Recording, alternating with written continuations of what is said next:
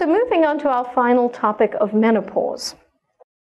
The issue here is hormone uh, uh, replacement treatment, and there are different forms of this. There are pill forms, there are patches, there are vaginal creams, and we're going to review those. Menopause is really when the ovaries stop producing estrogen, and the symptoms are well known hot flushes, sleep disturbances, vaginal dryness with associated sexual dysfunction Women quite often have urinary problems, incontinence, and frequent infections because of the dryness. Depression is also very common, and women develop osteoporosis. Now, most hormone replacements that are given contain estrogen and progestin, but in women who've had a prior hysterectomy, they don't need the progestin part of it, they can take an estrogen alone.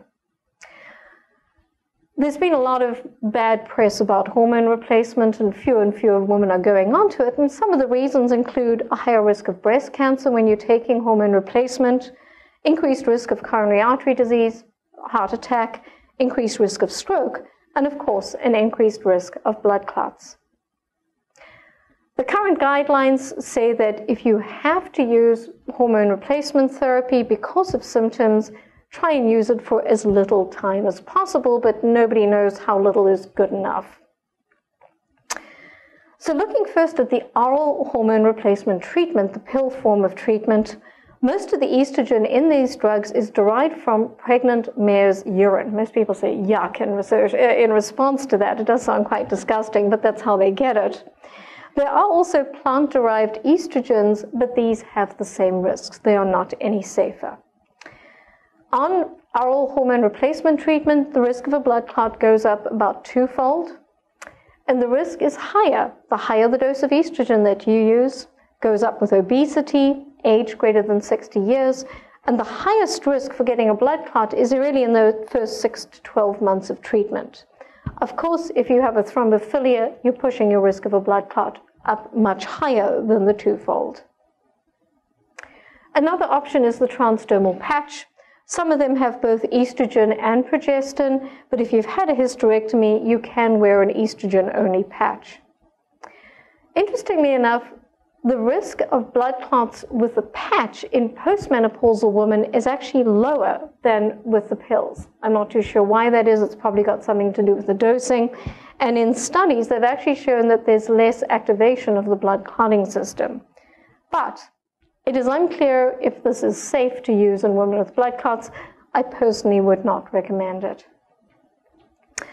Another option is vaginal estrogen cream, and this is usually just used for the genitourinary symptoms of menopause, in particular the incontinence, frequent infections, and vaginal dryness, and is very successful in treating these problems.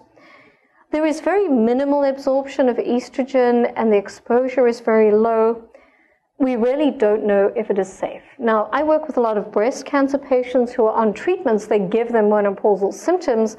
And in some women, to keep them comfortable, we have to use vaginal estrogen cream even a couple of times a week. I haven't really had to come up with any woman with blood clots that I work with. I would be concerned, but probably if you had to use something, this may be the safest, but I really can't recommend it. Mm. Another thing that people probably want to know about is what they call the bioidentical hormone therapy. This is kind of a newer thing. It's chemically made hormones that appear to be identical to the woman's natural hormones. And the prescriber actually tests hormone levels in blood and saliva and then gives the particular woman a specific dose for her. There's problems with these. There's no evidence that these are any better than regular hormone replacement, and there's no evidence that they're any safer. And in fact, the FDA has recently launched action against the compounding pharmacies because there's no credible scientific evidence that they're any better or any safer. In women with, at risk of blood clots, I'd absolutely recommend avoiding them.